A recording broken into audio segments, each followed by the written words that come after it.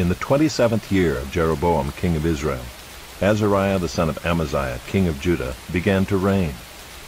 He was sixteen years old when he began to reign, and he reigned fifty-two years in Jerusalem. His mother's name was Jecoliah of Jerusalem. And he did what was right in the eyes of the Lord according to all that his father Amaziah had done. Nevertheless the high places were not taken away. The people still sacrificed and made offerings on the high places. And the Lord touched the king so that he was a leper to the day of his death, and he lived in a separate house. And Jotham the king's son was over the household, governing the people of the land. Now the rest of the acts of Azariah and all that he did, are they not written in the book of the chronicles of the kings of Judah? And Azariah slept with his fathers, and they buried him with his fathers in the city of David, and Jotham his son reigned in his place. In the thirty-eighth year of Azariah king of Judah, Zechariah the son of Jeroboam reigned over Israel in Samaria six months. And he did what was evil in the sight of the Lord, as his fathers had done. He did not depart from the sins of Jeroboam the son of Nebat, which he made Israel to sin. Shallum the son of Jabesh conspired against him, and struck him down at Ibleam, and put him to death, and reigned in his place. Now the rest of the deeds of Zechariah, behold, they are written in the book of the Chronicles of the kings of Israel. This was the promise of the Lord that he gave to Jehu. Your sons shall sit on the throne of Israel to the fourth generation. And so it came to pass. Shallum the son of Jabesh began to reign in the thirty-ninth year of Uzziah king of Judah, and he reigned one month in Samaria. Then Menahem the son of Gadi came up from Tirzah and came to Samaria. And he struck down Shallum the son of Jabesh in Samaria, and put him to death, and reigned in his place. Now the rest of the deeds of Shallum and the conspiracy that he made, behold, they are written in the book of the Chronicles of the kings of Israel. At that time Menahem sacked Tiphsah, and all who were in it and its territory from Tirzah on, because they did not open it to him. Therefore he sacked it, and he ripped open all the women in it who were pregnant.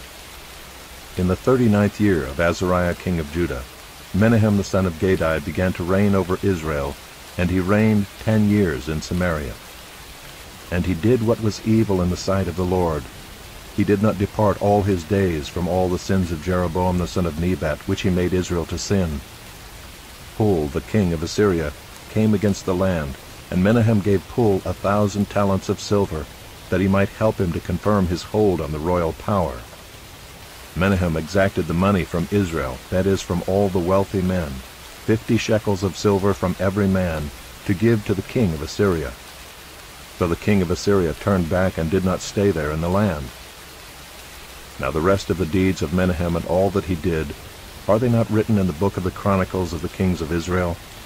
And Menahem slept with his father, and Pekahiah his son reigned in his place. In the fiftieth year of Azariah king of Judah, Pekahiah the son of Menahem began to reign over Israel in Samaria, and he reigned two years. And he did what was evil in the sight of the Lord. He did not turn away from the sins of Jeroboam the son of Nebat, which he made Israel to sin. And Pekah the son of Remaliah his captain conspired against him with fifty men of the people of Gilead, and struck him down in Samaria, in the citadel of the king's house with Argob and Arieh, he put him to death and reigned in his place. Now the rest of the deeds of Pekahiah and all that he did, behold, they are written in the book of the Chronicles of the kings of Israel. In the fifty-second year of Azariah king of Judah, Pekah the son of Remaliah began to reign over Israel in Samaria, and he reigned twenty years.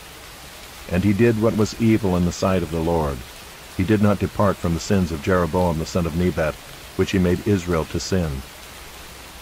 In the days of Pekah king of Israel, Tiglath-Pileser king of Assyria came and captured Ijon, Abel Bethmaachah, Janoah, Kedesh, Hazor, Gilead, and Galilee, all the land of Naphtali, and he carried the people captive to Assyria. Then Hoshea the son of Elah made a conspiracy against Pekah the son of Remaliah, and struck him down and put him to death, and reigned in his place, in the twentieth year of Jotham the son of Uzziah. Now the rest of the acts of Pekah and all that he did, behold, they are written in the book of the Chronicles of the kings of Israel. In the second year of Pekah the son of Remaliah, king of Israel, Jotham the son of Uzziah, king of Judah, began to reign. He was twenty-five years old when he began to reign, and he reigned sixteen years in Jerusalem. His mother's name was Jerusha, the daughter of Zadok. And he did what was right in the eyes of the Lord, according to all that his father Uzziah had done. Nevertheless, the high places were not removed. The people still sacrificed and made offerings on the high places. He built the upper gate of the house of the Lord. Now the rest of the acts of Jotham and all that he did, are they not written in the book of the Chronicles of the kings of Judah? In those days the Lord began to send Rezin the king of Syria and Pekah the son of Remaliah against Judah. Jotham slept with his fathers, and was buried with his fathers in the city of David his father, and Ahaz his son reigned in his place.